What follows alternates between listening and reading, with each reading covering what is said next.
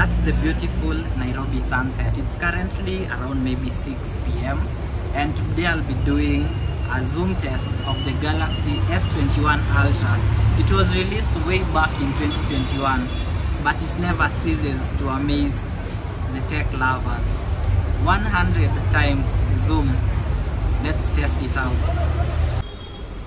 Underneath the hood, we have a 108 megapixel wide camera, which is a 24 millimeter lens, and a 10 megapixel telephoto camera, which is a 72 millimeter lens.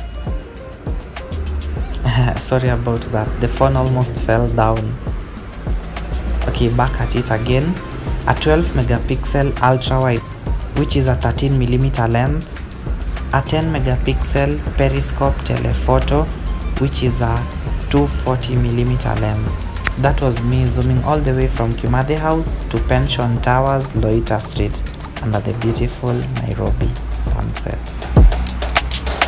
The front camera is a 40 megapixel 26 millimeter lens. Looking at the back side, we get to admire the design of the device. Here are the specs. A 2021 phone, still looking great in 2023. Cheers!